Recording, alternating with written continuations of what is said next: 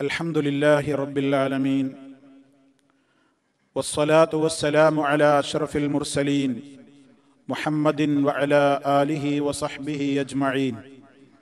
أما بعد فإن خير الكلام كلام الله وخير الهدي هدي محمد صلى الله عليه وسلم وشر الأمور محدثاتها وكل محدثة بدعة وكل بدعة ضلالة.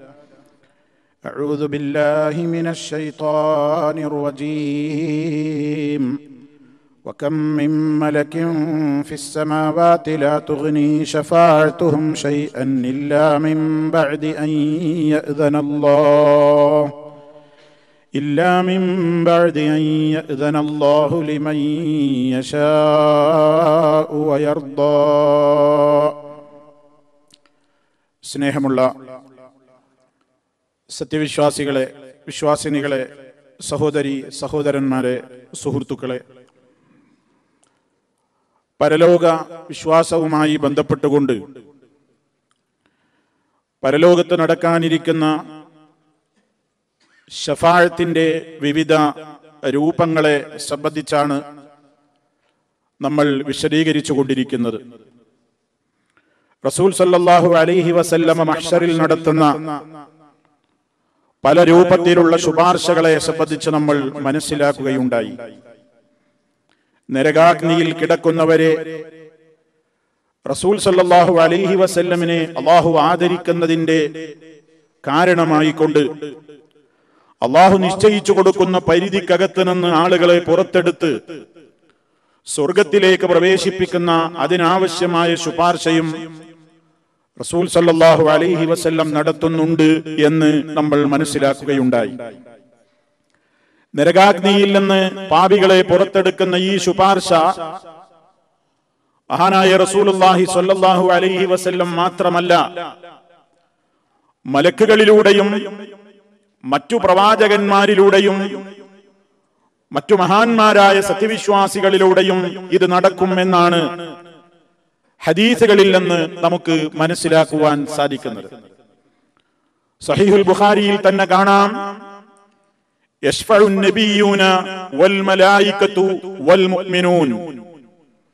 പ്രവാചകന്മാർ ശുപാർശ പറയും മലക്കുകളും ശുപാർശ പറയും മുഅ്മിനുകളും സത്യവിശ്വാസികളും ശുപാർശ പറയും എന്ന് ഹദീസിൽ നമുക്ക് കാണാൻ സാധിക്കും. ഇവിടെയൊക്കെ പ്രിയപ്പെട്ട ശ്രോതാക്കൾ നാം മനസ്സിലാക്കേണ്ടത് ഷഫായത്തിനെ സംബന്ധിച്ചു പറയുമ്പോൾ ഇതിലൊക്കെ നമ്മൾ ആദ്യം വിവരിച്ച മാനദണ്ഡങ്ങൾ ശരിക്കും മനസ്സിലാക്കിയിരിക്കണം. ആര് ശുപാർശ ചെയ്യണമെന്ന് തീരുമാനിക്കുന്നത് അള്ളാഹുവാണ്.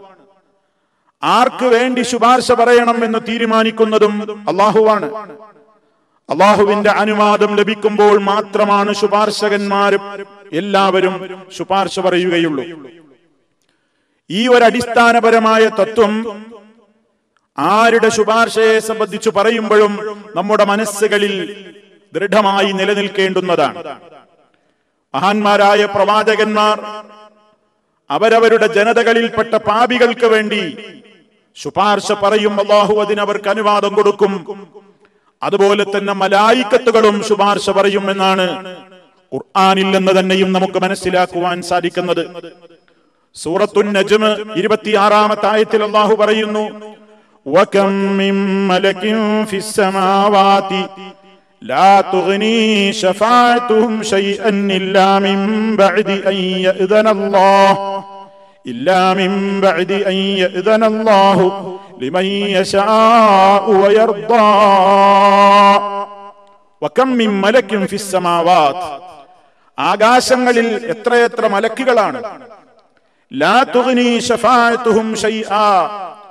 അവരുടെയൊന്നും ശുപാർശകൾ ഉപകരിക്കുകയില്ല.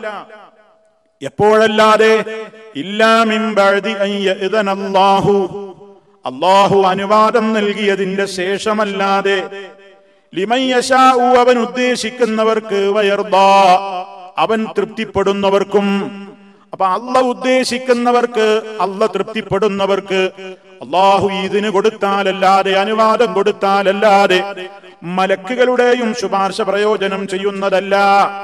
അപ്പൊ മലക്കുകളും ശുപാർശ ചെയ്യും എന്ന് ഇതിൽ നിന്ന് നമുക്ക് വളരെ വ്യക്തമായി മനസ്സിലാക്കാം.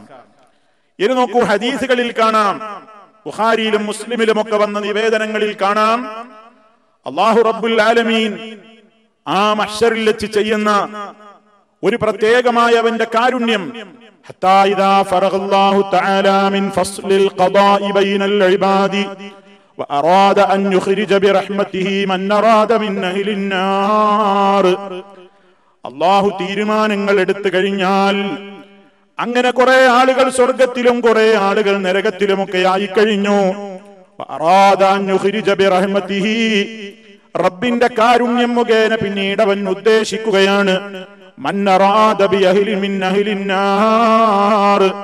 നരകവാസികളിൽ നിന്നും അവൻ ഉദ്ദേശിക്കുന്നവരെ റബ്ബിന്റെ കാരുണ്യം മുഖേന അവൻ പുറത്തെടുക്കാൻ ഉദ്ദേശിക്കുന്ന നേരത്ത് അമറൽ മലായിക്ക മലക്കുകളോട് അള്ളാഹു കൽപ്പിക്കും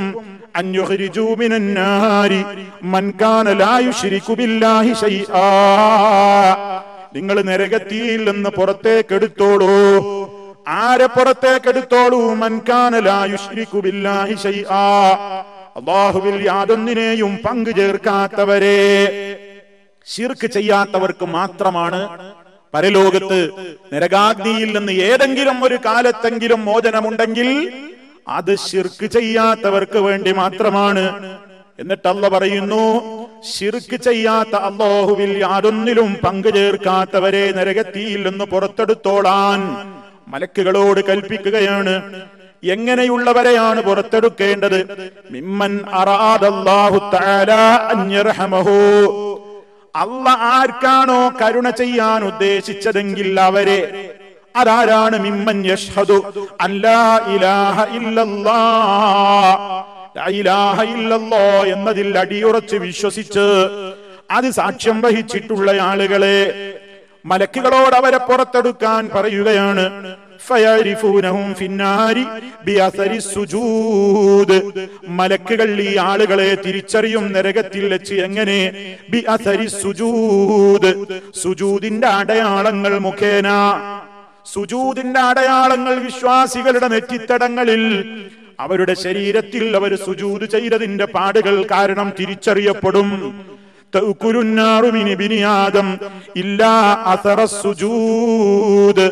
മനുഷ്യന്റെ എല്ലാ ഭാഗങ്ങളും തീ നക്കി തുടക്കുന്നതാണ്. മനുഷ്യ ശരീരത്തിൽ എല്ലായിടത്തും തീ തിന്നും അത് സ്പർശിക്കും. ഇല്ല അസറ സുജൂദ് സുജൂദിന്റെ അടയാളത്തെ ഒഴികെ കണ്ടോ? അള്ളാഹു അവന്റെ മുമ്പിൽ സുജൂത് ചെയ്യുന്നതിന്റെ ആ മഹത്വമാണ്. സുജൂതിന്റെ അടയാളം സുജൂത് ചെയ്തവർ തന്നെയും മിനുകൾ പാപികളാണെങ്കിൽ അവർ നരകത്തിയിൽ കിടക്കണമല്ലോ. അല്ല നിശ്ചയിക്കുന്ന കാലാവരി നരകത്തിയിൽ കിടക്കുമ്പോൾ പോലും സുജൂതിന്റെ അടയാളങ്ങളെ തീ തിന്നുകയില്ല. അലന്നാരി. അല്ല നരകത്തേക്ക് നിഷിദ്ധമാക്കിയിരിക്കുകയാണ്. സുജൂദിന്റെ അടയാളം തിന്നരുതെന്ന് അള്ളാഹു നരകത്തിയോട് വിലക്കിയിരിക്കുകയാണ്. അങ്ങനെ ഇത്തരത്തിൽ മലക്കുകളോട് റബ്ബിന്റെ ഓർഡർ ഉണ്ടാകുമ്പോ ആ മലക്കുകൾ അതാ റബ്ബുദ്ദേശിക്കുന്ന ആളുകളെ നരകത്തിയിൽ നിന്ന് പുറത്തേക്ക് എടുക്കുകയാണ് കതിം തുഹിഷൂ അവരാകെ കറുത്ത കരി പോലെ ആയി തീർന്നിട്ടുണ്ടവരുടെ രൂപങ്ങളൊക്കെ. പിന്നീടും മാ ഉൽ ഹയാത്ത് എന്ന് പേരുള്ള ഒരു പ്രത്യേകമായ ജലം ഈ ആളുകളുടെ മേലങ്ങ് ചൊരിയപ്പെടുമ്പോൾ ആ വെള്ളമങ്ങ് ശരീരത്തിൽ സ്പർശിക്കുന്ന നേരത്ത് മലവെള്ളപ്പാച്ചിലിൽ നിൽക്കുന്ന വിത്തുകൾ പിന്നീട് അതില്ലെന്ന് മുളപൊട്ടി വരുമ്പോൾ എന്ത് നല്ല കാണാൻ ഭംഗിയുള്ള വിത്തുകളായിരിക്കും. അതിൽ ഒരു ചെടി ഒരു വിത്തിൽ നിന്ന് മുളച്ചേ മുളച്ചിങ്ങനെ മുളപൊട്ടി വരുന്നത് പോലെ അത്ര കാണാൻ നല്ല ചന്തമുള്ള കളറിലും നിറത്തിലും സൗന്ദര്യത്തിലുമൊക്കെ ആയിക്കൊണ്ട് ഈ നരകത്തിയിൽ കിടന്ന ആളുകൾ മാറുന്നു. പിന്നീട് അവർ സ്വർഗത്തിലേക്ക് പ്രവേശിപ്പിക്കപ്പെടുന്നു. അപ്പൊ ഇത് മലക്കുകൾ മുഖേനയുള്ള മലക്കുകൾക്ക് അള്ളാഹു അനുവാദം കൊടുത്ത് അവരിലൂടെ അള്ളാഹു നടത്തുന്ന വിശ്വാസികളോട് നടത്തുന്ന ഒരു കാരുണ്യത്തിന്റെ രൂപമാണ്. അപ്പൊ മലക്കുകളുടെ ശുപാർശ പറഞ്ഞെടുത്തും അല്ല പറഞ്ഞതെന്താ?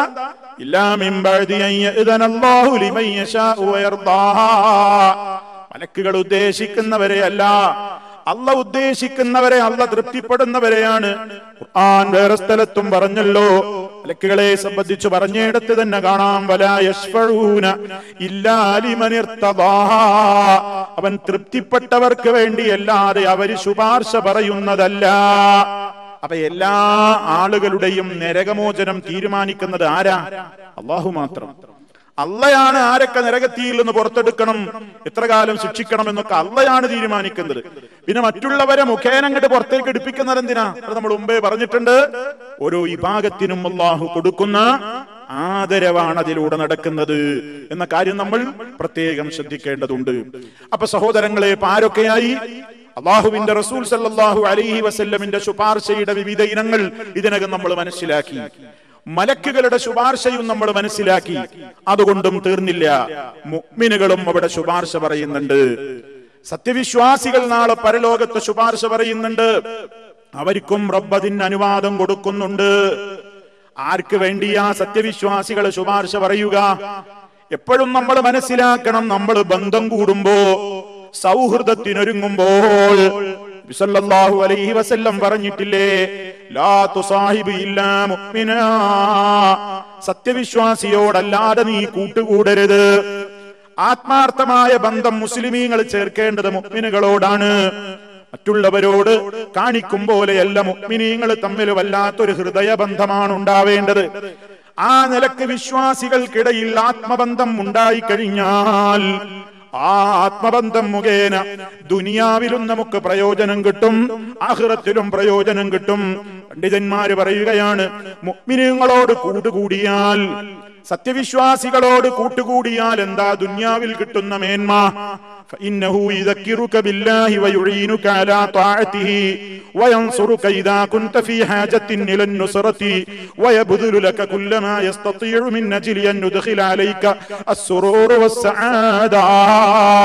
അതേ സത്യവിശ്വാസിയാണ് നിന്റെ കൂട്ടുകാരനെങ്കിൽ ഒരു മുഅ്മിനിനോടാണ് നിനക്ക് ആത്മബന്ധമുള്ളതെങ്കിൽ നിന്റെ സുഹൃൽ വലയത്തിൽ മുഅ്മിനുകളാണ് ഉള്ളതെങ്കിൽ അതുകൊണ്ട് നിനക്ക് ദുന്യാവിലും പ്രയോജനമാണ് ആഹ്റത്തിലും പ്രയോജനമാണ്.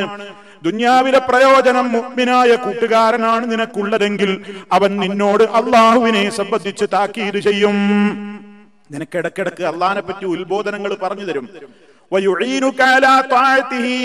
അള്ളാഹുവിനെ അനുസരിച്ച് ജീവിക്കാൻ അവൻ നിന്നെ ഹെൽപ്പ് ചെയ്യും സഹായിക്കും.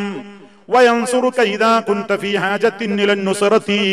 നിനക്ക് വല്ല സഹായങ്ങളും ആവശ്യമുള്ള അത്യാവശ്യ ഘട്ടങ്ങളിൽ അവൻ അറിയാത്ത പോലെ നിന്നിൽ നിന്ന് പോകില്ല അവൻ നിന്നെ സഹായിയായിട്ട് കൂടെയുണ്ടാകും ويبذل لك كل ما يستطيع من أجل أن يدخل عليك السرور والسعادة നിന്റെ മനസ്സിൽ സന്തോഷവും സമാധാനവും ഒക്കെ ഉണ്ടാകാൻ ആവശ്യമായ അവനെ കൊണ്ട് എന്തെല്ലാം കാര്യങ്ങൾ ചെയ്യാൻ പറ്റുമോ അതൊക്കെയും അവൻ നിനക്ക് ചെയ്തു തരും. അതാണ് ആത്മാർത്ഥമായ മുഗ്മിനായ ഒരു കൂട്ടുകാരൻ നിനക്കുണ്ടെങ്കിൽ ദുനിയാവിൽ കിട്ടുന്ന പ്രതിഫലം അതാണ്. ഇനി ഇതുകൊണ്ട് തീർന്നില്ല. വഫിൽ ആഖിറ. ആഖിറത്തിൽ എന്താണ് പ്രയോജനം അല്ലാഹുവിന്റെ അടുക്കൽ നിനക്ക് വേണ്ടി ഈ മുഅ്മിനുകൾക്കും അല്ലാഹുവിന്റെ അനുവാദം കിട്ടുമ്പോ ആ മുഅ്മിനുകൾക്ക് വേണ്ടി ഇവർ ശുപാർശ പറയുന്നു. അങ്ങനെ ഒരു പ്രത്യേകത കൂടി അള്ളാഹു താല അറിയിക്കുകയാണ് ഖുർആനിൽ സൂറത്തു സുഹുറുഫിലെ ആയത്തിൽ നമുക്ക് കാണാം. الأخلاء يومئذ بعضهم لبعض عدو إلا المتقين الأخلاء ചങ്ങാതിമാര് ആത്മമിത്രങ്ങൾ യൗമഇദിൻ അന്നത്തെ ദിവസം ബാദുഹും ലിബാദിൻ അദുവിൻ അവർ ചിലർ ചിലർക്ക് ശത്രുക്കളായിരിക്കും ഇവിടെ വലിയ ക്ലോസ് ഫ്രണ്ട്സ് ആണ്. വലിയ കൂട്ടാണ് വലിയ സഹവാസമാണ് സൗഹാർദ്ദത്തിലാണ്. പക്ഷേ അതൊക്കെ മുഅ്മിനുകളാണെങ്കിലേ പ്രയോജനമുള്ളൂ പരലോകത്ത്. അതല്ലാത്തവർ ഇവിടെ എത്ര അടുത്തവനാണെങ്കിലും പരലോകത്ത് വെച്ച് കാണുമ്പോ കടിച്ചു കീറുന്ന രൂപത്തിലുള്ള ശത്രുത കണ്ടാൽ മൈൻഡ് ചെയ്യാത്ത രൂപത്തിലുള്ള മാനസികാവസ്ഥ കാരണം അത്രക്കും ദേഷ്യമാണ് നാളെ പരലോകത്ത് വെച്ച്. കാഫറുകളായ ആളുകൾ തമ്മിൽ കാണുമ്പോൾ ഉള്ളത്. അതേ അവസരത്തിൽ റബ്ബ് പറയുന്നു ഇല്ലൽ മുത്തഖീൻ. പടച്ച റബ്ബിന്റെ കൽപ്പനകളെ ശിരസാ വഹിച്ചുകൊണ്ട് തത്വയോടെ സൂക്ഷ്മതയോടെ ജീവിച്ച മുത്തഖീങ്ങൾ ഒഴികെ അവർ നാളെ പരലോകത്ത് ശത്രുത കാണിക്കില്ല. അവർ പരലോകത്തും ആത്മമിത്രങ്ങളും ബന്ധുക്കളും സ്നേഹഭാചനങ്ങളുമായി തീരുന്നു ഇതാണ് അള്ളാഹു ഖുർആാനിലൂടെ പറഞ്ഞത്. അപ്പൊ ആരുമായി കൂട്ടുകൂടണമെന്ന് വളരെ വ്യക്തമാണ്. വിസല്ലാഹു അലൈഹി വസ്ല്ലം പറഞ്ഞത് മൂമിനീങ്ങളായിരിക്കണം നമ്മുടെ സുഹൃൽ വലയത്തിലൊക്കെ ഉണ്ടായിരിക്കേണ്ടത്. നല്ലവരുമായി കൂട്ടുകൂടുക. അതാണ് ബിസല്ലാഹു അലൈഹി വസ്ല്ലം പറഞ്ഞത് മുഅ്മിനിനോടല്ലാതെ നീ കൂട്ടുകൂടരുത്. അവൻ നിനക്ക് എപ്പോഴും ഹെൽപ്പായിരിക്കും. നിന്റെ പ്രതിസന്ധി ഉണ്ടാവുമ്പോൾ നിന്റെ പ്രതിസന്ധി കൂട്ടല്ല അത് കുറക്കാനുള്ള ഉപദേശങ്ങൾ അവൻ തരും. മാനസികമായി സ്വസ്ഥതയും സമാധാനവും പ്രദാനം ചെയ്യുന്ന നിലയ്ക്ക് നിന്നെ സഹായിക്കും. പരലോകത്തോ പരലോകത്തോ അള്ളാഹുവിന്റെ അനുവാദം കിട്ടുമ്പോൾ അവർ ശുപാർശ പറയും. സത്യവിശ്വാസികളുടെ ശുപാർശ നരകാഗ്നിയിൽ കിടക്കുന്ന ആളുകൾക്ക് വേണ്ടി. മുഅ്മിനുകളായ ആളുകൾ അള്ളാഹുവിനോട് പറയും യഖൂലൂന അവർ പറയും റബ്ബന കാനു യസൂമൂന മഅനാ വയഹജ്ജൂൻ ഞങ്ങളുടെ റബ്ബേ കാനൂ യസൂമൂന മഅനാ ഇവർ ഞങ്ങളുടെ കൂടെ നോമ്പെടുത്തിരുന്ന ഞങ്ങളുടെ കൂട്ടുകാരാണ്. നമ്മൾ ശരിക്കും മനസ്സിലാക്കണം പ്രിയമുള്ളവരെ. ലോകത്ത് വെച്ച് മോമിനികൾ അള്ളഹാനോട് പറയാൻ അനുവാദം കിട്ടുമ്പോ റബ്ബനാ ഞങ്ങളുടെ റബ്ബേ കാനൂയ സൂമൂനമാന ഇവർ ഞങ്ങളോടൊപ്പം നോമ്പെടുത്തിരുന്നവരാണ്. വയുസല്ലൂൻ ഞങ്ങളോടൊപ്പം നിസ്കരിച്ചിരുന്നവരാണ്. ഹജ്ജ് ചെയ്തിരുന്നവരുമാണ്. അന്നേരം അവരോട് പറയപ്പെടും നിങ്ങൾ മനസ്സിലാക്കിയവരെ അറിഞ്ഞവരെ പുറത്തെടുത്തോളൂ. അങ്ങനെ അവരുടെ നരകാഗ്നിയിൽ കിടന്ന് അവരുടെ കോലമൊക്കെ എത്രത്തോളം ആയിട്ടുണ്ട് ആളുകൾ? ഈ ആളുകൾ അതാ അള്ളാഹുവിന്റെ അനുവാദം കിട്ടുമ്പോൾ റബ്ബ് തീരുമാനിച്ചിട്ടുള്ള ആളുകളെ അതാ. റബ്ബിന്റെ നിശ്ചയപ്രകാരം കുറെ ആളുകളെ നരകത്തിയിൽ നിന്ന് പുറത്തേക്ക് എടുക്കുകയാണ്. നരകം അവരുടെ തീ അവരുടെ കണങ്കാൽ വരെ മുട്ടുവരെ ഒക്കെ നക്കി തുടച്ചവരുണ്ട്. ഇത് കഴിഞ്ഞ് കുറെ ആൾ അങ്ങനെ പുറത്തേക്ക് വരുന്നു. സുമ്മയൂരൂന പിന്നെയും മിനികൾ പറയും റബ്ബന മാ ബഖിയ ഫീഹാ അഹദും മിമ്മൻ അമർത്തനാ ബിഹി.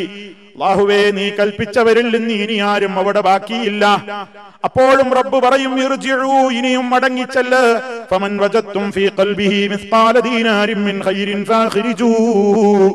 അല്പമെങ്കിലും ഒരു ദീനാറിന്റെ തൂക്കമെങ്കിലും ഹൃദയത്തിൽ ഈമാനുള്ളവരായ ആളുകളെ അത് അള്ളാഹുവിന് അറിയാമല്ലോ അവരെയും പുറത്തെടുത്തു കൊള്ളാൻ ഓർഡർ കൊടുക്കുന്നു. അങ്ങനെ ധാരാളം ആളുകൾ ആ ടീമിലും പുറത്തേക്ക് വരും. അപ്പൊ വിശ്വാസികൾ പറയും റബ്ബേ നീ ഞങ്ങളോട് കൽപ്പിച്ച ആളുകളുടെ കൂട്ടത്തിൽ ഇനി അവിടെ ആരും ബാക്കിയില്ല എന്ന് പറയുമ്പോ അല്ല പിന്നെയും പറയും മടങ്ങിച്ചെല്ല്.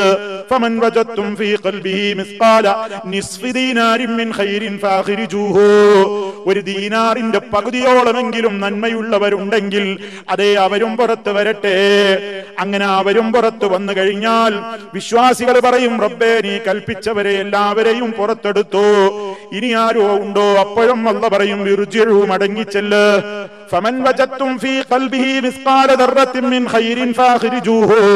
നന്മയിൽ നിന്ന് അണുത്തൂക്കമെങ്കിലും ഉള്ളവരെയും പുറത്തെടുത്തോളൂ. അങ്ങനെ ധാരാളം സൃഷ്ടികൾ ആവിരത്തിലും പുറത്തു വരും. അപ്പോൾ ഈ മുഗ്മിനുകൾ റബ്ബിനോട് വീണ്ടും പറയും റബ്ബന ലം നദർ ഫീഹാ ഖൈറാ. ഇനി അതിൽ ആരെയും ബാക്കിയില്ല. ആ നിലയ്ക്ക് ഹൈറുള്ളവരൊക്കെ തീർന്നു കഴിഞ്ഞു. അബൂ സഈദ് അൽ ഖുദരി റളിയല്ലാഹു തആല അൻഹു ഹദീസ് ഇങ്ങനെ പറയുന്നതിനിടയിൽ മഹാനവറുകൾ പറഞ്ഞു ഇല്ലം തുസദ്ദിഖൂനി ബിഹാദൽ ഹദീസ്. ഇത്രത്തോളം റബ്ബ് കാണിക്കുന്ന അവന്റെ ഔദാര്യവും അവന്റെ നീതിയും അവന്റെ കാരുണ്യവും ഒക്കെ നിങ്ങൾക്ക് വിശ്വസിക്കാനാകുന്നില്ലെങ്കിൽ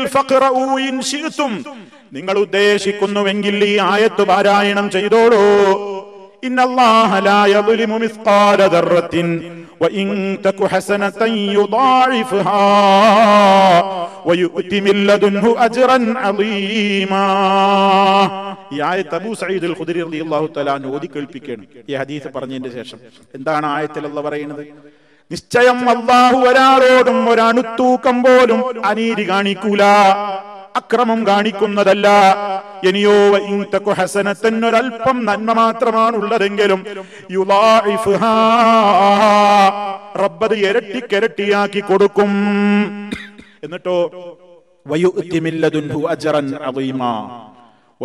അവൻ കൊടുക്കും അവന്റെ പക്കൽ നിന്ന് അജറൻ ഒമ്പിച്ച പ്രതിഫലം കൊടുക്കും. എന്നീ ആയത്ത് കൂടി ചേർത്ത് പറയുകയുണ്ടായി. അബൂ ഖുദ്രി റളിയല്ലാഹു ഈ സംഭവം എവിടെയാ ഉള്ളത്? ഈ ഹദീസ് സഹീഹ് മുസ്ലിമിൽ നമുക്ക് കാണാൻ സാധിക്കും. അപ്പൊ വിശ്വാസികൾ കുറെ ആളുകൾക്ക് വേണ്ടി എത്ര ആളുകൾക്ക് വേണ്ടി ഓരോ വിശ്വാസികളും ശുപാർശ പറയും? അത് ഓരോരുത്തരുടെ മഹത്വം അനുസരിച്ചിരിക്കും. അള്ളാഹുവിന്റെ അടുക്കലുള്ള ഓരോ മുഅ്മിനിന്റെയും ദറജ അനുസരിച്ചിരിക്കും. അയാളുടെ ശുപാർശക്ക് അർഹരായി തീരുന്ന ആളുകളുടെ എണ്ണം അങ്ങനെ അള്ളയാണ് കണക്കാക്കുന്നത്. സഹീഹ് തുർമുദിയിൽ തന്നെ തുർമുദിയിൽ നമുക്കൊരു റിപ്പോർട്ട് കാണാം.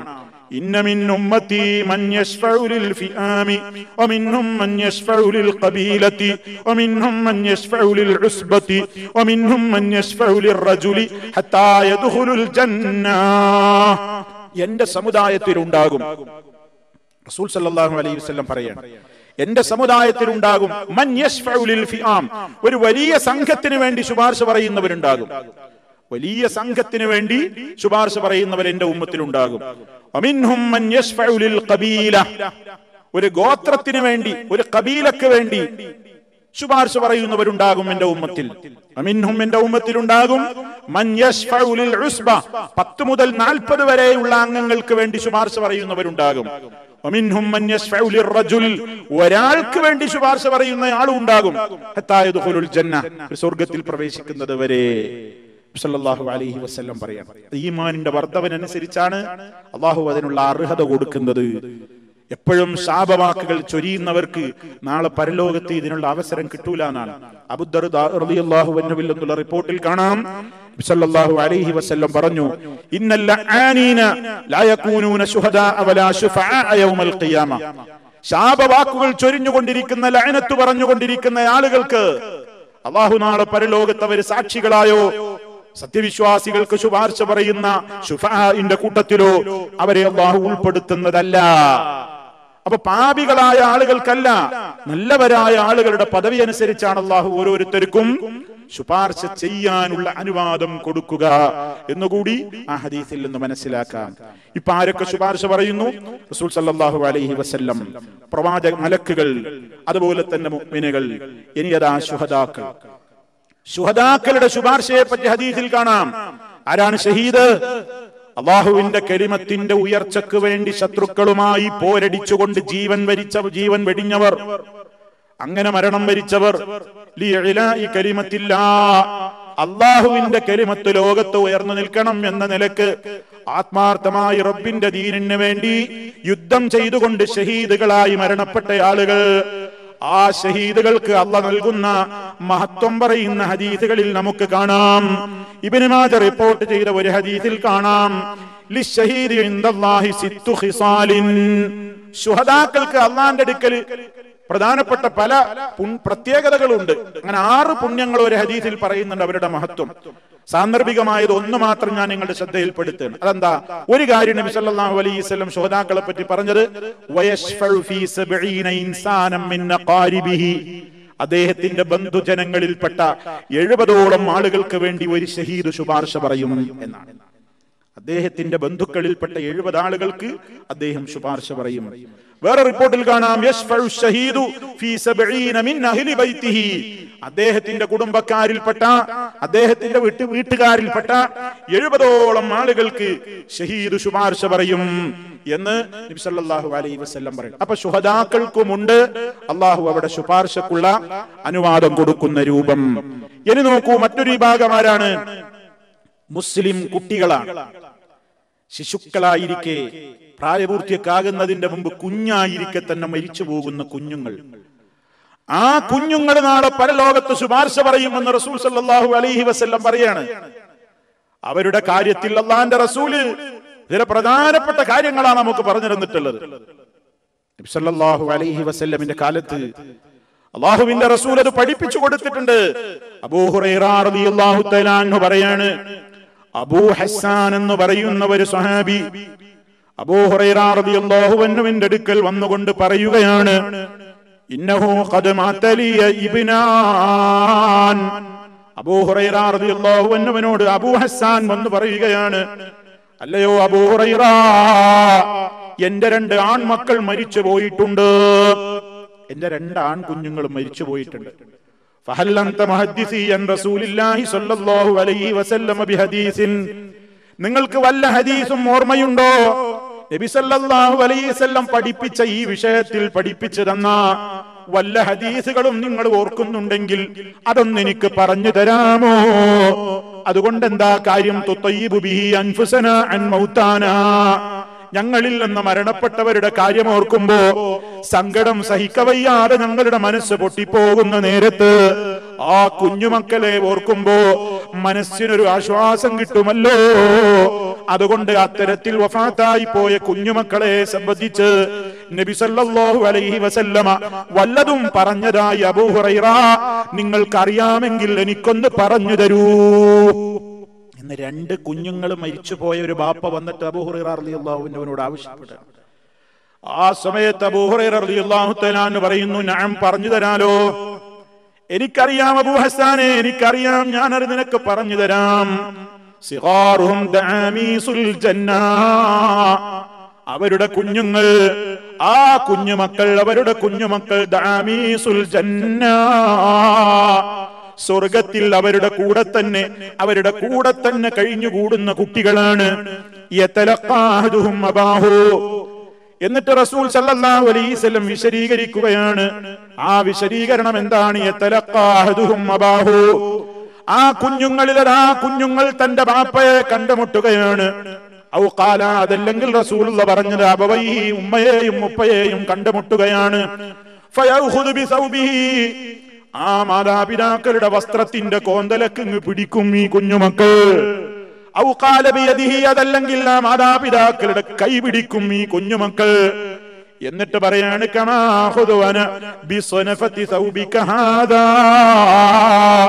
ഇതാ നിന്റെ ഈ വസ്ത്രത്തിന്റെ തല ഞാൻ പിടിക്കുന്നത് പോലെ. എന്ന് പറഞ്ഞിട്ട് റസൂല പഠിപ്പിച്ചു കൊടുത്ത രൂപമാണ് പറയുന്നത് നിങ്ങളെ വസ്ത്രത്തിന്റെ തലപ്പ ഞാൻ പിടിച്ചു വലിച്ചാൽ ഇങ്ങനെ ഇതുപോലെ ഈ മക്കളും ഉമ്മാനും മാപ്പാനും പിടിച്ചു വലിക്കും. അല്ലെങ്കിൽ ഉമ്മാന്റെ മാപ്പാനും കൈക്കണ് പിടിക്കും. ആ പിടുത്തം ആ കുട്ടികൾ വിടൂല. ഫലായത്തന ആ മക്കൾ ആ പിടുത്തം ഒഴിവാക്കൂല.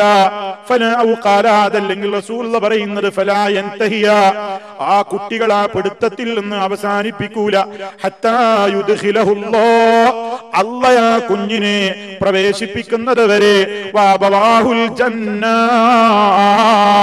ആ കുഞ്ഞിന്റെ മാതാപിതാക്കളെയും അല്ലാ ഞാൻ സ്വർഗത്തിലേക്ക് പോകുന്നില്ല? എനിക്കെന്റെ കൂടെ എന്റെ ഉപ്പ വേണം. എന്റെ ഉമ്മ വേണം എന്ന് പറഞ്ഞുകൊണ്ട് ആ ചെറിയ ശിശുക്കൾ ചെറുപ്പത്തിലേ മരണപ്പെട്ടു പോയ മുസ്ലിമായ മാതാപിതാക്കളുടെ കുഞ്ഞുമക്കൾ മരിച്ചു പോയിട്ടുണ്ടെങ്കിൽ അവരുടെ മനസ്സിനെ അവർ ആശ്വസിച്ചോട്ടെ. ഇതെല്ലാവർക്കും കിട്ടുന്ന മഹത്വമല്ല. സല്ലല്ലാഹു അലൈഹി വസല്ലം പറഞ്ഞത് എന്താണ്? മറ്റൊരു ഹദീസിൽ നമുക്ക് കാണാം. മാമിൻ മുസ്ലിമൈനി യമൂതു ലഹുമാ സലാസതു ഔലാദിൻ ലം യബ്ലുഗുൽ ഹിൻസ ഇല്ലാ ദഖലഹുല്ലാഹു വയ്യാഹും ബിഫദ്ലി ജന്ന ഏതെങ്കിലും മുസ്ലിമായ മാതാപിതാക്കൾ കാഫറായ മാതാപിതാക്കൾക്ക് ഇത് കിട്ടൂല. മുഷിരിക്കായ മാതാപിതാക്കൾക്ക് കിട്ടൂല. മുസ്ലിമീങ്ങളായ മാതാപിതാക്കളുടെ മൂന്ന് കുഞ്ഞുങ്ങൾ മരണപ്പെട്ടിട്ടുണ്ട്.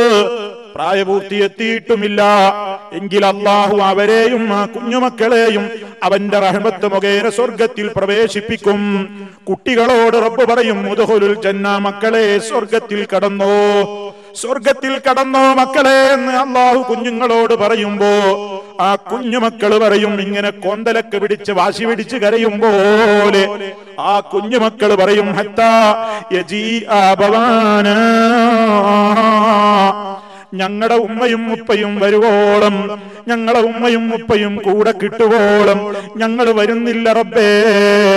എന്നീ കുഞ്ഞുമക്കൾ ഉമ്മാക്ക് വേണ്ടി ഉപ്പാക്ക് വേണ്ടി റബ്ബിനോട് ഇങ്ങനെ അപേക്ഷ പറയുകയാണ്. ആ നേരത്തവരോട് പറയപ്പെടും മുതുഹുലുൽ ജന്ന സ്വർഗത്തിൽ കടന്നോ മക്കളെ. അന്തും നിങ്ങൾ മാത്രമല്ല വാപവാക്കും നിങ്ങളുടെ മാതാപിതാക്കളും സ്വർഗത്തിലേക്ക് കടന്നോളൂ. അള്ളാഹു ആലമീൻ കണ്ടോ ചെറിയ കുഞ്ഞുമക്കൾ? ബുഹറിറാഹുവിനോട് ഈ കുഞ്ഞുമക്കൾ മരിച്ച വാപ്പ വന്നിട്ടാ ചോദിക്കുന്നത്. അള്ളാന്റെ റസൂൽ ഇങ്ങനെ വല്ലതും പറഞ്ഞത് നിങ്ങൾ ഓർമ്മയിലുണ്ടെങ്കിൽ എനിക്ക് പറഞ്ഞു തരും എന്തിനാ? എന്റെ മരണപ്പെട്ടു പോയ കുഞ്ഞുമക്കളെ ആ അരുമ സന്താനങ്ങളെ ഓർത്ത് എന്റെ മനസ്സ് വിങ്ങിപ്പൊട്ടുന്ന നേരത്ത് എനിക്ക് എന്റെ ഹബീബ് പറഞ്ഞ വല്ല കാര്യങ്ങളും ഉണ്ടെങ്കിൽ അതോർത്ത് ആശ്വസിക്കാമല്ലോ. ദുന്യാവിൽ പോയാലും എനിക്ക് ആഹ്റമുണ്ടല്ലോ എന്റെ മക്കൾ അവിടെ ഉണ്ടല്ലോ എനിക്കെന്റെ മനസ്സിനൊരാശ്വാസം പകരാമല്ലോ. അപ്പൊ ഇവിടെ ചെറിയ കുഞ്ഞുമക്കൾ മുസ്ലിമീങ്ങളായ ആളുകളുടെ മാതാപിതാക്കളുടെ ചെറിയ മക്കൾ അങ്ങനെ മരണപ്പെട്ടു പോയിട്ടുണ്ടെങ്കിൽ അവർ അള്ളാഹുവിന്റെ മുമ്പിൽ ഈ മാതാപിതാക്കൾക്ക് വേണ്ടി അള്ളാഹുവിനോട് ശുപാർശ പറയുമെന്ന് നബി സല്ലല്ലാഹു അലൈഹി വസല്ലം പറയാം. ഇത് മുഷിരിക്കിനും കാഫറിനും കിട്ടൂല. ഏത് ആര് ശുപാർശ പറയുന്നുണ്ടെങ്കിലും ആര് ശുപാർശ പറയുന്നുണ്ടെങ്കിലും അത് ഹബീബായ സല്ലല്ലാഹു അലൈഹി വസല്ലം അടക്കം പ്രവാചകന്മാരടക്കം മലക്കുകളടക്കം ശുഹദാക്കളടക്കം കുഞ്ഞുമക്കളടക്കം ആര് ശുപാർശ പറയുന്നുണ്ടെങ്കിലും മുശ്രിക്കിനത് ഫലം ചെയ്യൂല. കാഫിറിനത് ഫലം ചെയ്യൂല. അതാണ് പറഞ്ഞത് ശഫാഅത്തു ശാഫിഈൻ. ശുപാർശകന്മാരുടെ ഒരു ശുപാർശയും അവർക്ക് ഫലം ചെയ്യൂല. ആർക്ക്? കാഫറുകൾക്ക് ഫലം ചെയ്യൂല. അതുകൊണ്ട് ഈമാനോടെ മരിക്കാൻ നോക്കണം. മുവഹിദുകളായി ജീവിച്ചു മരിക്കാൻ നോക്കണം. ഇഖ്ലാസോടെ മരിക്കാൻ നോക്കണം. മുത്തഖീങ്ങളായി ജീവിച്ചു മരിക്കാൻ നോക്കണം. എങ്കിലേ പരലോകത്ത് ശുപാർശകന്മാരുടെ ശുപാർശക്ക് പോലും നമ്മൾ അർഹരായി മാറുകയുള്ളൂ. അതുകൊണ്ട് തീർന്നില്ല.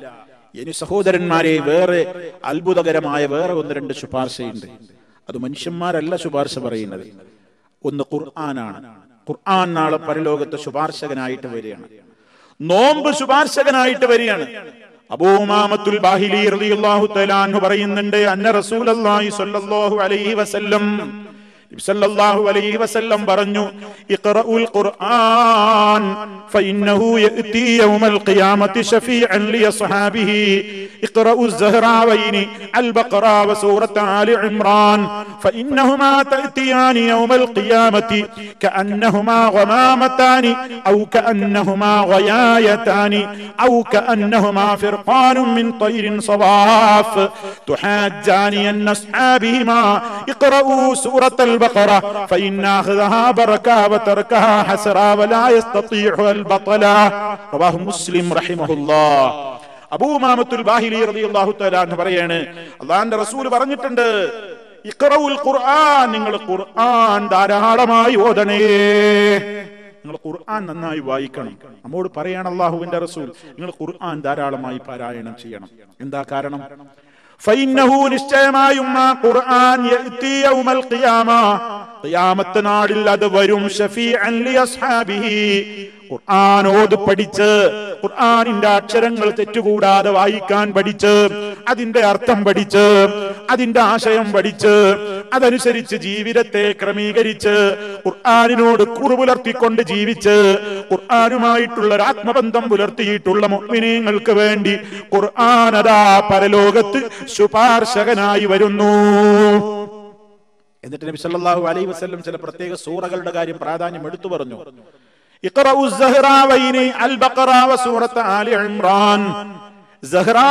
എന്ന എന്ന് പേരിടുകയാണ് റസൂലുള്ള ഈ രണ്ട് സൂറത്തുകൾക്ക് ശോഭയുള്ള പ്രകാശം നിറഞ്ഞ രണ്ട് സൂറത്തുകൾ. അതേതാ? അൽ ബക്കറാവ ആൽ ഇമ്രാൻ. ഖുർആനിലെ രണ്ടാമത്തെയും മൂന്നാമത്തെയും അധ്യായമായ ഒന്ന് അൽബക്കറയും മറ്റൊന്ന് ആൽ ഇമ്രാനും നിങ്ങൾ പാരായണം ചെയ്യണം. പ്രത്യേകം പറയാണ്. കാരണം ഫൈന്നഹുമാ നിശ്ചയമായും ആ രണ്ട് അധ്യായങ്ങൾ ഖിയാമത്ത് നാളിൽ ആ രണ്ട് സൂറത്തുകളും വരും. ഏതുപോലെ ഏതുപോലെ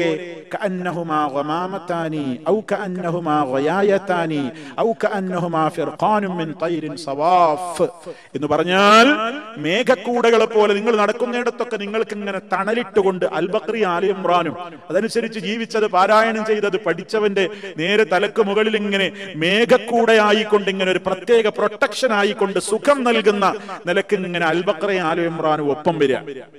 പരലോകത്തെ അള്ളാഹുവേ നീ ഞങ്ങൾ അനുഗ്രഹിക്കണമേ.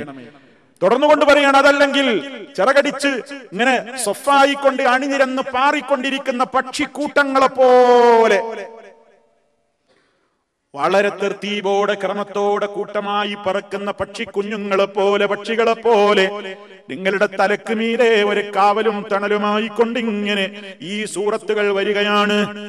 എന്നിട്ട് വെറുതെ വരികയല്ല.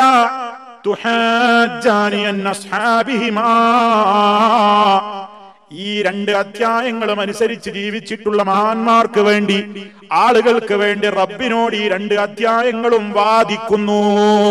അള്ളാ ഇവരെ സ്വർഗത്തിൽ കാക്ക്. അള്ളാ നീ ഇവരുടെ പാപം പുറത്തു കൊടുക്ക്. അള്ളാ നീ ഇവരെ രക്ഷിക്ക്. എന്നിങ്ങനെ അവർക്ക് വേണ്ടി വാദിക്കും ഈ രണ്ട് അധ്യായങ്ങളും. ഓ സഹോദരന്മാരെ ഇന്നവർ അൽബക്കറ സൂറത്തൊന്ന് മുഴുവൻ പാരായണം ചെയ്തോ? ആലു ഇമ്രാൻ ഒന്ന് പഠിച്ചോ? ഖുർആൻ പഠിക്കപ്പെടുന്ന ക്ലാസ്സുകളിലേക്ക് വരാൻ നമുക്ക് മനസ്സുണ്ടായോ? എന്താ അതിൽ പറയുന്നതെന്നൊരു ആവർത്തി കേൾക്കാനെങ്കിലും നമുക്ക് താല്പര്യമുണ്ടായോ? ഒരുപാട് ആളുകൾ താല്പര്യം കാണിക്കുന്നുണ്ട്. അള്ളാഹു നിലനിർത്തുമാറാകട്ടെ. കുറെ ആളുകൾ ഇപ്പോഴും അതിനെക്കുറിച്ച് ചിന്തിച്ചിട്ടില്ല. അള്ളാഹു അവർക്ക് സന്മനസ് കൊടുക്കുമാറാകട്ടെ. സഹോദരങ്ങളെ ആരാരും തുണയില്ലാത്ത പരലോകത്ത് ഖുർആൻ രംഗത്ത് വരികയാണ്. എന്നിട്ട് നബി സല്ലല്ലാഹു അലൈഹി വസല്ലം പറഞ്ഞു നിങ്ങൾ സൂറത്തുൽ ബക്കറ പ്രത്യേകം പാരായണം ചെയ്തോളിൻ. അതെടുക്കുന്നത് വറക്കത്താണ് നിങ്ങൾക്ക് അത് ഉപേക്ഷിക്കുന്നത് നിങ്ങൾക്ക് ഖേദത്തിനിടവരുത്തും നഷ്ടമാണ് നിങ്ങൾക്ക്. അത് എടുക്കൽ നിങ്ങൾക്ക് വറക്കത്താണ് ഒഴിവാക്കൽ നിങ്ങൾക്ക് നഷ്ടമാണ്. ഒരു സാഹിറിനും ഒന്നും ചെയ്യാൻ നിങ്ങളെ ചെയ്യാൻ കഴിയൂല. ഒരു മാരണക്കാരനും ഒന്നും ചെയ്യാൻ കഴിയൂല. നിങ്ങൾ അതിന്റെ വക്താവാണെങ്കിൽ ആ നിലയ്ക്ക് പ്രത്യേകമായി പൈശാചികമായ കാര്യങ്ങളിൽ നിന്ന് പോലും അതുപോലെ തന്നെ കുതന്ത്രങ്ങളിൽ നിന്ന് പോലും പലപ്പോഴും ഒരു കാവൽ ഉണ്ടായേക്കും എന്നാണ് റസൂലുള്ളാഹി സ്വല്ലല്ലാഹു അലൈഹി വസല്ലം പറയുന്നത് ഇത് മുസ്ലിമിലുള്ള റിപ്പോർട്ടാണ് ഇനി ഖുർആാനൊപ്പം സംബന്ധിച്ചു നബി സല്ലല്ലാഹു അലൈഹി വസല്ലം പറഞ്ഞു ഖുർആാനും ശുപാർശകനാണ് അത് മാത്രല്ല നോമ്പും ശുപാർശകനാണ് രണ്ടും കൂടെ ചേർത്ത് പറഞ്ഞ ഹദീസിൽ കാണാം الصيام والقرآن يشفعان للعبد يوم القيامة يقول الصيام أي رب منعته الطعام والشهوات بالنهار فشفعني فيه ويقول القرآن منعته النوم بالليل فشفعني فيه قال فيشفعان أحمد حاكم ريبورت ചെയ്തിട്ടുള്ള സഹിഹായ ഹദീസാണ് ഖുർആാനും നോമ്പും ഖിയാമത്ത് നാളിൽ വിശ്വാസികൾക്ക് വേണ്ടി അടിമക്ക് വേണ്ടി ശുപാർശകരായി കൊണ്ട് നോമ്പും ഖുർആാനും രംഗത്ത് വരും. എന്നിട്ട് നോമ്പ് പറയും അല്ലാനോട് നോമ്പ് പറയും അല്ലാനോട് ഐ റബ്ബി എന്റെ രക്ഷിതാവേ മനഴ്ത്തു ഞാൻ കാരണമാണ് അവന് ഭക്ഷണം തടഞ്ഞത്. അവന്റെ ആഗ്രഹങ്ങളെ പോലും ഞാനാണ് തടഞ്ഞത് പകൽ സമയത്ത്. നോമ്പുകാരനായതുകൊണ്ട് ദാഹിച്ചപ്പോഴും അവൻ വെള്ളം കുടിച്ചില്ല. അവന്റെ ഇഷ്ടങ്ങൾ അനുസരിച്ച് ചെയ്തില്ല. നോമ്പുകാരൻ എന്ന നിലയ്ക്ക് അവൻ ചിട്ടപാലിച്ചവനാണ് ആയതിനാൽ. അവന്റെ കാര്യത്തിൽ ഞാൻ നടത്തുന്ന ശുപാർശ നീ സ്വീകരിച്ചാലും. നോമ്പ് സംസാരിക്കുകയാണ്. വയഖൂലുൽ ഖുർആനു ഖുർആൻ പറയുകയാണ് രാത്രി ഏറെ സമയം ഇയാൾ ഖുർആൻ ഓതുന്നത് കാരണമായി എന്നെ പാരായണം ചെയ്തത് കാരണമായി അയാളുടെ ഉറക്ക് ഞാൻ തടസ്സപ്പെടുത്തിയിട്ടുണ്ട്. എന്റെ അദ്ദേഹത്തിന്റെ കാര്യത്തിൽ എന്റെ ശുപാർശ നീ സ്വീകരിച്ചാലും കാല എന്നിട്ട് നബി സല്ലല്ലാഹു അലൈഹി വസല്ലം പറയാണ് ഫയുശഫഅനി നോമ്പിന്റെയും ഖുർആാനിന്റെയും ശുപാർശ അവിടെ സ്വീകരിക്കപ്പെടും. ഇവിടെ നമ്മൾ ചിന്തിക്കുന്നുണ്ടാകുമ്പോ എങ്ങനെ ഇപ്പൊ ഈ നോമ്പ് ശുപാർശ പറയാ? എങ്ങനെ ഇപ്പൊ ഈ ഖുർആൻ ശുപാർശ പറയൽ? നമുക്ക് മനസ്സിലായിട്ടില്ല. മനസ്സിലാവേണ്ട ആവശ്യമില്ല കാരണം അത് പരലോക.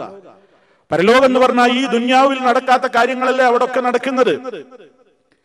ഇന്ന് വരെ നിങ്ങൾ ഭൂമി സംസാരിക്കുന്നത് കേട്ടിട്ടുണ്ടോ? ഈ ഭൂമി സംസാരിക്കുന്നത് ഇന്ന് വരെ നമ്മൾ ആരും കേട്ടിട്ടുണ്ടോ? എന്നാൽ അവിടെ അത് സംസാരിക്കില്ലേ? ഇതാ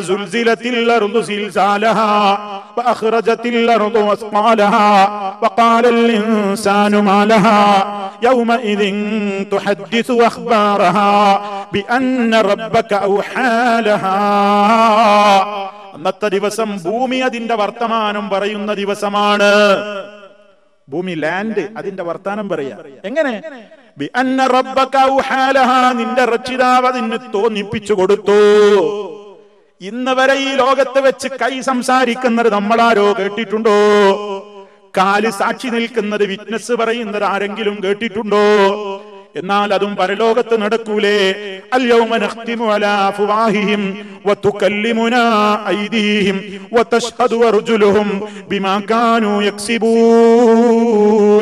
അന്നത്തെ ദിവസം അള്ളാഹു അവരുടെ വായകൾക്ക് മുദ്ര വെക്കുന്നു. പിന്നെ മിണ്ടാൻ സാധിക്കുന്നില്ല. പിന്നെ റബ്ബിനോട് സംസാരിക്കുന്നത് ഐതിഹ്യം അവരുടെ കൈകളാണ്. ആ കൈകൾ പറയുന്നത് നേരാണല്ലോ എന്ന് സാക്ഷി പറയുന്നത്. അവരുടെ കാലുകളാണ് സാക്ഷി നിൽക്കുന്നത്. അപ്പൊ കൈ സംസാരിക്കുന്ന ലോകം കാൽ സാക്ഷി പറയുന്ന ലോകമാണ് അവിടെ. അതുകൊണ്ടും തീർന്നില്ല. ഇന്ന് വരെ നമുക്കാർക്കെങ്കിലും പരിചയമുണ്ടോ നമ്മുടെ സ്കിന്ന് സംസാരിക്കുന്നത്? നമ്മുടെ തൊലി സംസാരിക്കുന്നത് ആർക്കെങ്കിലും പരിചയമുണ്ടോ? ഇല്ല എന്നാൽ നാളെ മഷറിൽ തൊലി സംസാരിക്കും. തൊലി നമുക്കെതിരെ നമ്മുടെ ബോഡിയെ വരിഞ്ഞ് വ്യാപിച്ചു കിടക്കുന്ന ഈ തൊലി ഉണ്ടല്ലോ. സുഖം അനുഭവിക്കുന്നതും വേദന അനുഭവിക്കുന്നതിനും മീഡിയമായി വർത്തിച്ചുകൊണ്ടിരിക്കുന്ന ഈ സ്കിന്ന്. അത് നാളെ മഷറിൽ വെച്ച് റബ്ബിനോട് നമുക്കെതിരെ സംസാരിക്കുമ്പോ മനുഷ്യൻ ചോദിക്കും ഈ സ്കിന്നിനോട് തൊലിയോട് ചോദിക്കും വക്കാലൂലി ജുലൂതിയും ലിമ ശഹിത്തും അലൈനാ? നിങ്ങൾ എന്തിനാ ഞങ്ങൾക്കെതിരെ അള്ളഹാനോട് സാക്ഷി പറയുന്നത്? ആ അവസരത്തിൽ തൊലികൾ അവരോട് പറയും കാലു ആ തൊലികൾ പറയും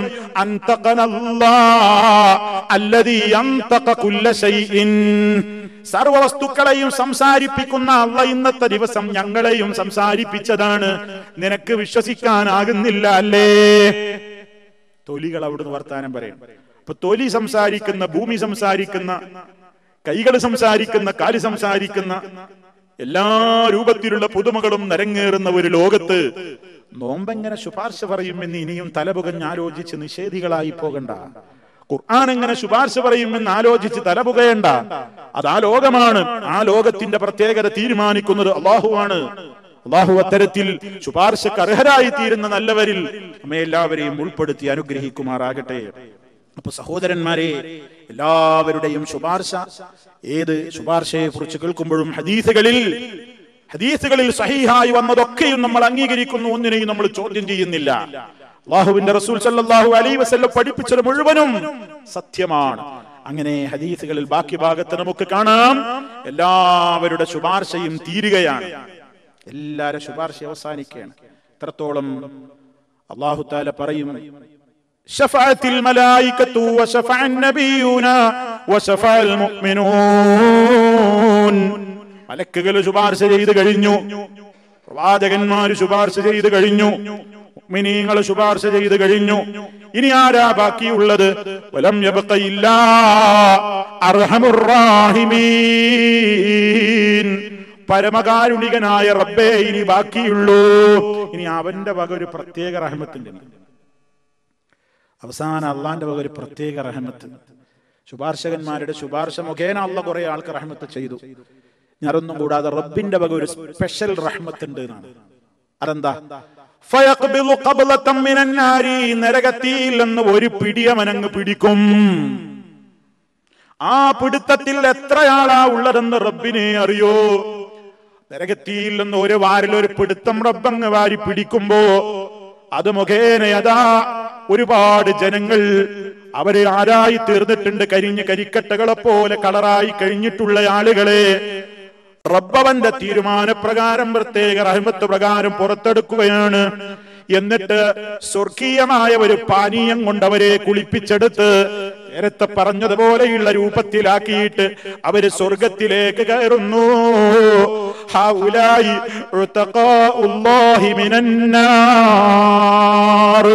അല്പം സുദീർഘമായ ഹദീസാണ് അതിന്റെ ബാക്കി ഭാഗത്ത് കാണാം ഹൗലായി കൂട്ടരാണ്.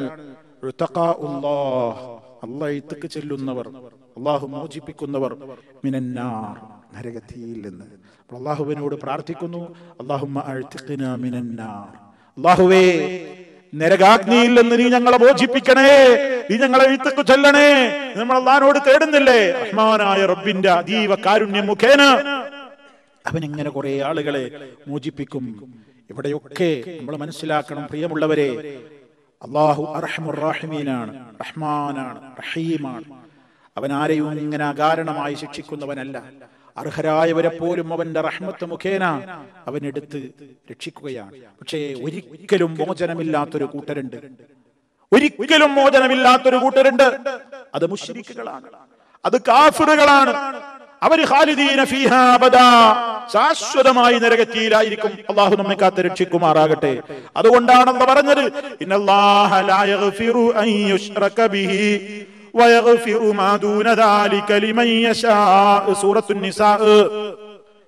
നിശ്ചയം യഗ്ഫിറു അവൻ പൊറുക്കുകയേ ഇല്ല. അവനിൽ പങ്കു ചേർക്കപ്പെടുന്നത് അവൻ പൊറുക്കൂല. അതിൽ താഴെയുള്ള പാപങ്ങളൊക്കെ അവൻ ഉദ്ദേശിക്കുന്നവർക്ക് അവൻ പുറത്തു കൊടുത്തേക്കും. ഷിർക്ക് അവൻ പൊറുക്കൂല. തൗബ ചെയ്യാതെ ശിർക്ക് ചെയ്തുകൊണ്ട് തൗബ ചെയ്യാതെ മരിച്ചുപോയാൽ ഒരു കാലത്തും നരകത്തിയിൽ നിന്ന് മോചനമില്ല പ്രിയമുള്ളവരെ. അതുകൊണ്ട് മുവഹിദുകളായി ജീവിക്കണം. ഈ ശുപാർശകന്മാരുടെ ഒക്കെ ശുപാർശക്ക് വേണ്ടി ആരോടാ ചോദിക്കേണ്ടത്? ആരോടാ പ്രിയമുള്ളവരെ ചോദിക്കേണ്ടത്? ശുപാർശക്ക് അനുവാദം കൊടുക്കുന്ന റബ്ബിനോടാ നമ്മൾ ചോദിക്കേണ്ടത് അല്ലാതെ ഇവരോടല്ല. നബിയേ നിങ്ങൾ ഞങ്ങൾക്ക് നാളെ മഷറിൽ ശുപാർശ പറയണേ എന്ന് റസൂലുള്ളാനോട് ചോദിക്കാവോ? പാടില്ല. പ്രവാചകന്മാരെ നിങ്ങൾ ഞങ്ങൾക്ക് വേണ്ടി ശുപാർശ പറയണേ എന്ന് അവരെ വിളിച്ചു തേടാമോ? പാടില്ല. മലക്കുകളെ നിങ്ങൾ ഞങ്ങൾക്ക് വേണ്ടി നാളെ ശുപാർശ പറയണേ എന്ന് ചോദിക്കാൻ പാടില്ല. സുഹതാക്കളെ നാളെ പരലോകത്ത് നിങ്ങൾ ഞങ്ങൾക്ക് വേണ്ടി ശുപാർശ പറഞ്ഞാലും എന്ന് സുഹതാക്കളെ വിളിച്ചു തേടാനും പാടില്ല. ഓ കുഞ്ഞുമക്കളെ നിങ്ങൾ ഞങ്ങൾക്ക് വേണ്ടി ശുപാർശ പറയണേ ഇവിടുന്ന് തേടിയിട്ട് കാര്യമുണ്ടോ?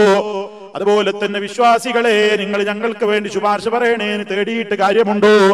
അതല്ലെങ്കിൽ നോമ്പേ നീ ഞങ്ങൾക്ക് അതല്ലെങ്കിൽ ഖുർആാനേ നീ ഞങ്ങൾക്ക് ശുപാർശ പറയണേ. എന്നൊക്കെ അവരോട് വിളിച്ച് പറഞ്ഞിട്ട് വല്ല കാര്യമുണ്ടോ? ഇല്ല. എന്തിനും തേടേണ്ടത് അള്ളാഹുവിനോടാണ്. അള്ളാഹുവിന്റെ റസൂൽ സല്ലല്ലാഹു അലൈഹി വസല്ലം തന്നെ പറഞ്ഞില്ലേ? നബി സല്ലല്ലാഹു അലൈഹി വസല്ലമിന്റെ പ്രത്യേക ശുപാർശക്ക് തന്നെയും നമ്മൾ അർഹരായി തീരണമെങ്കിൽ അവിടുന്ന് പറഞ്ഞിട്ടുള്ള ഒരു പ്രധാനപ്പെട്ട കാര്യമുണ്ട്. പലപ്പോഴും നമ്മൾ അത് അശ്രദ്ധമായി തള്ളാറാണ് പതിവുള്ളത്. സമൂഹം പലപ്പോഴും ഉദാസീന നയം കാരണത്താൽ ഒരു വലിയ സൽക്കർമ്മം തള്ളിക്കളയുന്നു. അതേതാ? നിബിതങ്ങൾ പറഞ്ഞു ഇതാ സമയത്തുൽ ബാങ്ക് വിളിക്കുന്നയാളെ നിങ്ങൾ കേട്ട് കഴിഞ്ഞാൽ ബാങ്ക് വിളിക്കുന്നയാൾ പറയും പോലെ നിങ്ങൾ മറുപടി പറയണം. ബാങ്ക് കേൾക്കുമ്പോഴേ ബാങ്ക് കേൾക്കുമ്പോ വർത്തമാനൊക്കെ നിർത്തിവെച്ച് ബാങ്കിന് ഇജാബത്ത് പറയണം അത് ശ്രദ്ധിച്ച് കേട്ടിട്ട് നമ്മൾ സാധാരണ ബാങ്ക് കൊടുക്കുന്നുണ്ടെങ്കിൽ എല്ലാവരോടും പറയും മിണ്ടണ്ട മിണ്ടണ്ട പറയും. എന്നിട്ട് പിന്നെ എല്ലാവരും കൂടി ഇരുന്ന് വർത്താനം പറയും. നമുക്കുള്ളൊരു ഒരു വിരോധാഭാസം നമ്മൾ ആലോചിച്ച് നോക്കി. ചിലപ്പോൾ എവിടെയെങ്കിലും ഒരു മീറ്റിംഗ് ഒക്കെ നടക്കുകയാണെങ്കിൽ ബാങ്ക് കൂടി കേൾക്കുകയാണെന്നുണ്ടെങ്കിൽ ഒരാൾ സംസാരിക്കുന്നുണ്ടെങ്കിൽ അയാളോട് "ഛ്, ഛ്, ഛ്, ബാങ്ക് ബാങ്ക്. അപ്പൊ അയാൾ അയാളെ അയാൾ മാത്രം ഇതുവരെ സംസാരിച്ചിരുന്നത്. അയാളെ സംസാരം അവിടെ നിർത്തിവെപ്പിച്ചു. പിന്നെ കൂട്ടമായിട്ട് സരസിൽ എല്ലാവരും കൂടി വർത്താനം പറയാം. ഇതിനു വേണ്ടിയാ നിർത്തിവെച്ചത് ബാങ്ക് കേൾക്കുമ്പോ അതിനോടൊരു മര്യാദയോടെ കാതു കൊടുക്കണം. എന്നിട്ട് അള്ളാഹു അക്ബർ എന്നിങ്ങനെ പറയുമ്പോ അതിന് മറുപടി പറയണം. നബിസല്ലാഹു അലൈവല്ലം പഠിപ്പിച്ച രൂപത്തിൽ അതിന് ജവാബുകൾ പറയണം. ഓരോ പദങ്ങൾ കേൾക്കുമ്പോഴും എന്താണ് പറയേണ്ടതെന്ന രൂപത്തിൽ മറുപടി പറയണം. എന്നിട്ട് ബാങ്ക് വിളിച്ചു കഴിഞ്ഞാൽ ലഭിസങ്ങൾ പറയാണ് സല്ലല്ലാഹു അലൈവല്ലം പറയുന്നു സുമ്മ സല്ലു അലയ്യ. പിന്നീട് നിങ്ങൾ എനിക്ക് വേണ്ടി സ്വലാത്തിനെ ചോദിക്കണം. അങ്ങനെ ബാങ്ക് വിളിച്ചു കഴിഞ്ഞാൽ നമ്മൾ എന്ത് ചെയ്യണം? സല്ലല്ലാഹു അലൈഹി വസല്ലമിന്റെ പേരിൽ സ്വലാത്ത് ചൊല്ലണം. എന്താ സ്വലാത്ത് ചൊല്ലിയാലുള്ള മഹത്വം? സ്വലാത്തൻ. ആരെങ്കിലും എനിക്ക് വേണ്ടി ഒരു തവണ സ്വലാത്തിനെ ചോദിച്ചാൽ അലൈഹി ബിഹാശറ അള്ളാഹു അത് മുഖേന അവന് പത്ത് ഗുണം പ്രദാനം ചെയ്യുന്നു. അള്ളാഹ് അവന് പത്ത് ഗുണം നൽകും. ഒരു സ്വലാത്തിന് പത്ത് പുണ്യുണ്ട്. അതുകൊണ്ട് സ്വലാത്ത് സമയം കിട്ടുമ്പോഴൊക്കെ ചൊല്ലണം. മനസ്സിലായില്ലേ? അത് നാരിയ സ്വലാത്തല്ല അതുപോലെ വേറെ ഏതെങ്കിലും സലാത്തല്ല. നബി സല്ലല്ലാഹു അലൈഹി വസല്ലമില്ലെന്ന് മാതൃകയുള്ള അവിടുന്ന് പഠിപ്പിച്ച ആശയങ്ങൾക്ക് വിരുദ്ധമായി വരാത്ത സ്വലാത്തുകൾ ചൊല്ലണം. എന്നിട്ട് നബി സല്ലല്ലാഹു അലൈഹി വസല്ലം പറയുന്നു സ്വലാത്തും ചൊല്ലിയിട്ട് സുമ്മ സലുല്ലാഹ ലിയൽ വസീല. പിന്നീട് നിങ്ങൾ എനിക്ക് വേണ്ടി അള്ളാഹുവിനോട് അൽ വസീല തന്ന പദവിക്ക് വേണ്ടി ചോദിക്കണം. അത് സ്വർഗത്തിലെ ഒരു പദവിയുടെ പേരാണ്. അല്ലാഹുവിന്റെ അടിമകളിൽപ്പെട്ട ഒരാൾക്ക് മാത്രമേ അത് കിട്ടുകയുള്ളൂ. അത് കിട്ടുന്ന അടിമ ഞാനാവണമെന്ന് ഞാൻ മോഹിക്കുന്നു. ഞാൻ ആഗ്രഹിക്കുന്നു. വസീല. ആ വസീലത്ത് എനിക്ക് വേണ്ടി ആരെങ്കിലും ചോദിച്ചാൽ അവൻ അവന് ഷഫാഴത്ത് കരസ്ഥമാകും.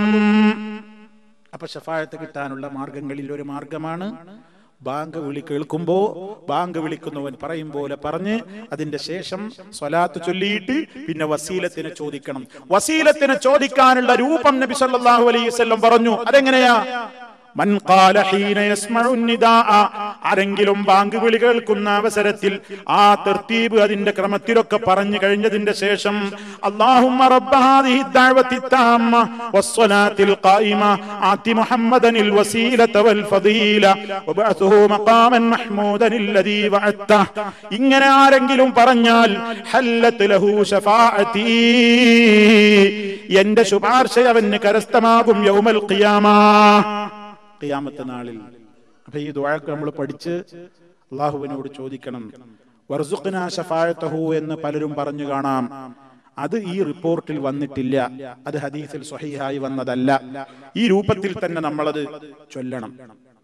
ഇവിടെ പല ആളുകളും പലപ്പോ ചിലപ്പോഴും പലപ്പോഴും എന്ത് ചെയ്യും നമ്മുടെ നാടുകളിലൊക്കെ? ബാങ്ക് വിളി തുടങ്ങുന്നതിന് മുമ്പ് ഒരു സ്വലാത്ത് ചൊല്ലും. അള്ളാഹു മുസല്ലി അലാ മുഹമ്മദ് അലാ മുഹമ്മദ് അള്ളാഹു അക്ബർ അള്ളാഹു അക്ബർ എന്നിട്ട് ബാങ്ക് തുടങ്ങും. വേറെ ചിലർ ഈ ഇഖാമത്ത് വിളിക്കുന്നതിന് മുമ്പ് അല്ലാഹുമ്മ സല്ലി അലാ ആലി മുഹമ്മദ് അല്ലാഹു അക്ബർ അല്ലാഹു അക്ബർ അഷ്ഹദു അല്ലാ ഇലാഹ ഇല്ലല്ലാഹ് ഇഖാമത്ത് വിളിക്കും വേറെ ചിലയിടങ്ങളിൽ റമദാനിന് തറാവീഹിന് രണ്ടരക്കാലത്ത് നിസ്കാരം കഴിഞ്ഞ് അല്ലെങ്കിൽ നാല് റക്കായത്ത് കഴിഞ്ഞിട്ട് അതിന്റെ ഇടയിൽ ഉണ്ടാവുമ്പോൾ പോലും അള്ളാഹുമ്മ സല്ലി അലാ മുഹമ്മദ് എന്നിട്ട് കുറേ സ്വലാത്ത് ചൊല്ലും. ഇങ്ങനെ ഈ പ്രത്യേകം പുണ്യം നിശ്ചയിച്ചുകൊണ്ട് നബി സല്ലല്ലാഹു അലൈഹി വസല്ലം മാതൃകയാക്കിയിട്ടില്ലാത്ത പ്രത്യേക സമയങ്ങളിൽ പ്രത്യേകം സ്വലാത്തിന് പുണ്യമുണ്ടെന്ന് വിചാരിച്ച് ചൊല്ലുന്നത് തെറ്റാണ് തെറ്റാണ്. അത് പറയുമ്പോൾ ആളുകൾ പറയുന്നത് ഓ സ്വലാത്ത് ചൊല്ലിനോട് അലർജി ആയിട്ടാ അങ്ങനെ പറയുന്നത്. ഒരു അലർജി അല്ല. സ്വലാത്തിന് പ്രത്യേക എപ്പോഴും സ്വലാത്ത് ഏത് സമയത്തും നമുക്ക് ചൊല്ലാം. പക്ഷേ ഇന്ന സമയത്ത് ഇത്ര തവണ ചൊല്ലിയാൽ പുണ്യമുണ്ടെന്ന ധാരണയോടെ ചെല്ലണമെങ്കിൽ അതിന് പ്രമാണങ്ങളുടെ പിൻബലം വേണം. അല്ല നിങ്ങൾ എപ്പോഴും ചൊല്ലിക്കോ? എപ്പോഴും കൂലിയുള്ളതാ. അതേ അവസരത്തിൽ ബാങ്കിന്റെ മുമ്പ് കാമത്തിന്റെ മുമ്പ് തറാവീന്റെ ഇടയ്ക്ക് എന്നൊക്കെ പറയണമെങ്കിൽ അതിന് പ്രത്യേകം തെളിവ് വേണം. അപ്പൊ തെളിവുള്ളതേ ചെയ്യാവൂ. ഇനി സഹോദരന്മാരെ സല്ലല്ലാഹു അലൈഹി വസല്ലമിൽ നിന്നുള്ള ഒരു റിപ്പോർട്ടും കൂടെ നമുക്ക് കാണാൻ സാധിക്കും.